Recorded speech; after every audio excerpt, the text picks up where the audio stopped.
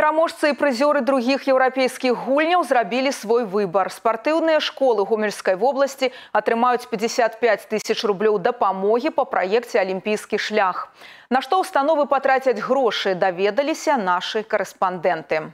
Канаістка Алена Наздрова на других еўрапейскіх гульнях перамагла ў алімпійскай дысцыпліне заездзе каною адзіночак на 200 метраў. Яе шлях у вялікі спорт пачынаўся на гэтым вяслярным канале ў валатаве ў гомелі. Першы трэнер Александр Гінтаўт і зараз працягвае выхоўваць будучых чэмпіёнаў. На вяслярны канал у Заслаўе, каб падтрымаць Алену, адправілася вялікая дэлегацыя трэнераў і навучэнцаў з дзюшар Дельфін. У тым, што медаль будзе абавязкова, ніхто не сумняваўся. Наздрова выдзяляецца не толькі талентам і прыроднай схільнасцю до веслования, але и метанакіраванасцю и дисциплиной. Она на чемпионате республики на последнем отборе тоже выиграла довольно-таки уверенно и показывала, что она была готова.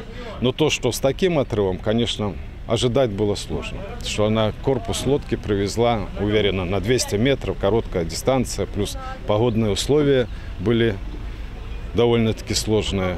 По праекце алімпійскі шлях з дюшар дельфін атрымае 15 тысяч рублёў. Грошы пойдуць на паляпшэнне матэрыяльна-тэхнічнай базы. Дзякуючы паспяховым выступленням свае спартыўныя школы падтрымаюць таксама байдарачніцы Вольга Худзенка і Марына Літвінчук, барэцкі Рыл Грышчанка і баксёр Уладзіслаў Смяглікаў. Сродкі атрымаюць мазырская здюшар прафсаюзаў па веславанні, калінкавецкая здюшар нумар 2 і абласны цэнтр алімпійскага рэзерву адзінаборстваў. Общая сумма средств, которые получит Гомельская область, это порядка 55 тысяч рублей. Это на сегодняшний день колоссальные деньги, э, денежные средства, которые пойдут прежде всего на укрепление материально-технической базы, потому что можно сказать, что если эти школы подготовили таких спортсменов, выдающихся спортсменов, значит, они что-то могут, что-то умеют, э, тренерский персонал, административный персонал, э, и поэтому нужно шагать вперед, дальше и готовить таких же чемпионов. Увогуле на других еўрапейскіх гульнях 12 спартсменаў з нашага рэгіёна здабылі 20 медалёў. Удзел у праекце алімпійскі шлях прымаюць тыя, хто заваяваў узнагароды ў алімпійскіх дысцыплінах. Максім Савінга, на Каральчук, Александр Харлампаў, тэлерадыёкампанія Гомель.